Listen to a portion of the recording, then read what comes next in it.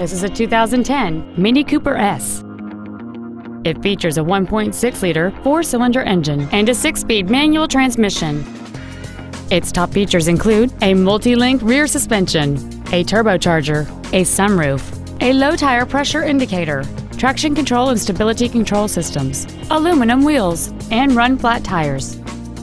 The following features are also included air vents for rear-seated passengers, a split folding rear seat, cruise control, a CD player, a leather-wrapped steering wheel, performance tires, an illuminated driver's side vanity mirror, an anti-lock braking system, a rear window defroster, and this vehicle has fewer than 41,000 miles on the odometer.